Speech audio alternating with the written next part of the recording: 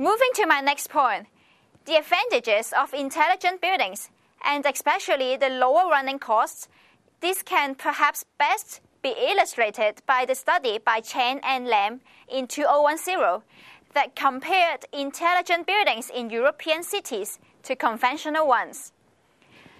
As you can see from the slide, that uh, research showed that the intelligent buildings saved on average 28% of energy costs compared to traditional buildings. The savings were greatest with electricity during summer, as the automatic blinds and ventilation system reduced the need for air conditioning. In winter, heating is still needed, although the added insulation and double glazing mean that temperatures do not drop as much as in older buildings.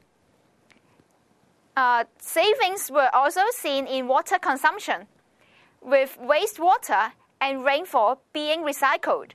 Now, it's important to remember that this was a European study, and these findings might not fit Hong Kong with its hot, humid summer. But I still think it's worth investigating. More details of this paper are in the reference list at the end of my presentation if you would like to find out more. Okay, next I'd like to look at the environment in intelligent buildings.